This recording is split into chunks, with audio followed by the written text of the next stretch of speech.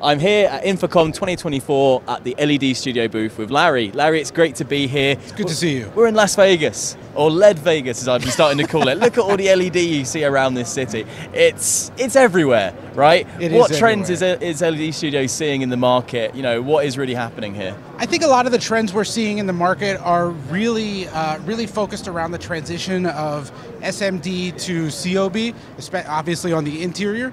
Uh, but you know, we're seeing more and more possibility, uh, uh, more and more of the, the COB market uh, opening up because the, the the gap between SMD and COB is shrinking from a price perspective. Uh, that the the protection that you get from COB, the increased brightness, uh, the the smaller diodes for the sharper picture, it really makes a big impact on uh, on on the clarity of the screens that, that are going out there. Of course, and tell me a bit more about what the LED Studio has brought to the show this year. What can we find on the booth? Uh, we've brought a lot of our COB product to the show this year. Shocking. um, you know, we're we're really focused on the sustainability aspect of things. So most of the products that we're showing feature our Edge platform, um, and we call it a platform more than a product. It's built to be upgradable.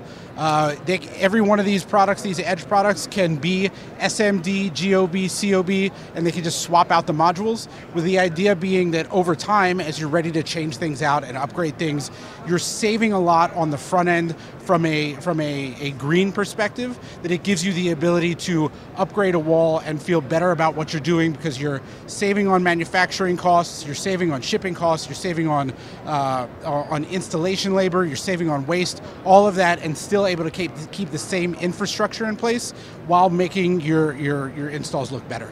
Of course, and sustainability is becoming such a wider issue in the industry now, not just for integrators and manufacturers, but for the end users as well. Absolutely. So I can see why this would be such a, a Yeah. key requirement for products which are typically thought of as quite energy intensive. Yeah, yeah, for sure. And it's one of the things that we're really proud of. You know, given the fact that we're an engineering led organization, it allows us to innovate on, on platforms like that and innovate for, for, uh, uh, for, for uh, platforms like sustainability. It gives us that, it, it gives us, it gives us the ability to, uh, to, to really think about intentionally how we're, how we're coming to the market and what we're able to bring to the market in a unique way. Absolutely. It's great to see the LED studio leading by design here. It's wonderful to see. Larry, Absolutely. thank you so much for your time. Good to meet you.